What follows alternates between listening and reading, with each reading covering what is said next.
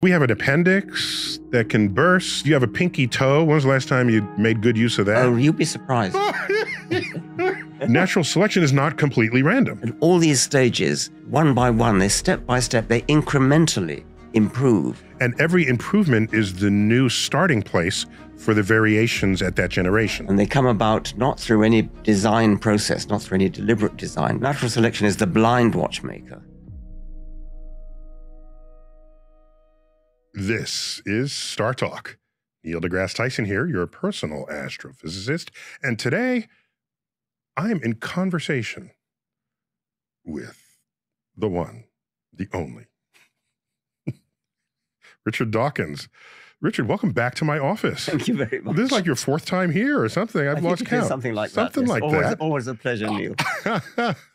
oh, welcome. I mean, we, we have a lot of catching up to do, I think. Um, so recently, or at least this year, we lost Daniel Dennett, philosopher yes. Daniel Dennett. I recently learned, I didn't read all of his books, I read some of them. Uh, he declared that Darwin's evolution by natural selection was the greatest idea anybody ever had. He's coming to it not as a biologist, but as a philosopher. So, how do you reflect on that declaration?